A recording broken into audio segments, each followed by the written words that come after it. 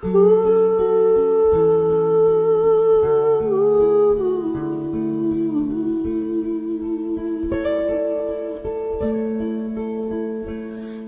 remember me when the west wind moves among the fields of barley.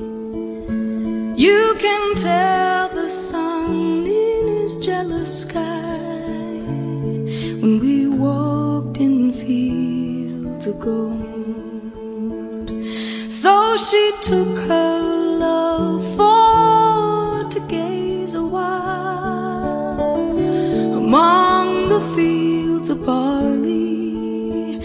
In his arms she fell as her hair came down among the fields of gold.